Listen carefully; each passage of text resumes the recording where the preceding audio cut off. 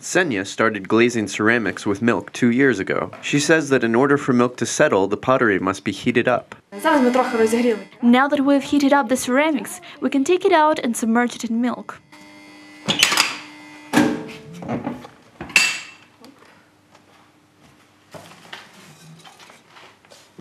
Milk can be used for changing the color of the ceramic items. If pottery soaks in milk for 15 minutes, it will be light. If it stays there for an hour, the shade will be darker. Milk also makes ceramics water resistant.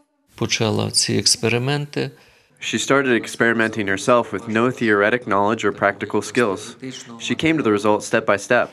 In addition to dishes, Senya also submerges her ceramic figurines in milk. Each sculpture has a mirror instead of a face. Anyone can look in them and experience different emotions. For example, for me, the emotion is love. The craftswoman says that she wants people to stop hiding their emotions and start living fully. In the future, Senya plans to master other ancient techniques for processing ceramics.